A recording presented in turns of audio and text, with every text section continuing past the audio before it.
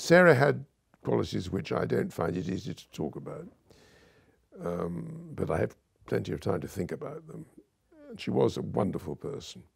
And she had all the nerve and the, and the anxiety, but she had all the nerve which I haven't had. And one time when we were going to a screening of uh, Academy Award screening in those little theatres in Soho, we all had drinks first, then we went in to watch this film. And about uh, 20 minutes before the end of a very long film, it was The Verdict with Paul Newman.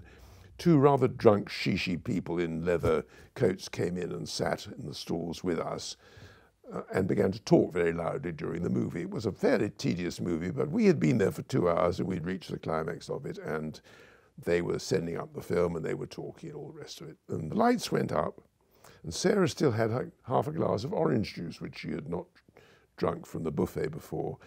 And without a moment's hesitation, she turned round and she threw it straight onto them. And all this orange juice, and there's always more orange juice in a glass that's been thrown than the glass that's being drunk, went all over them and dribbled down all the fringy stuff they had on.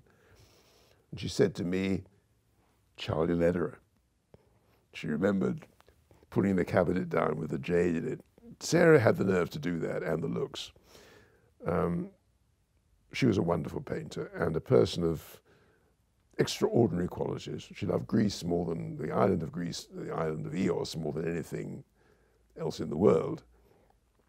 Um, and she was a great painter, and the response to her work in this country has been extremely grudging, but um, there it is.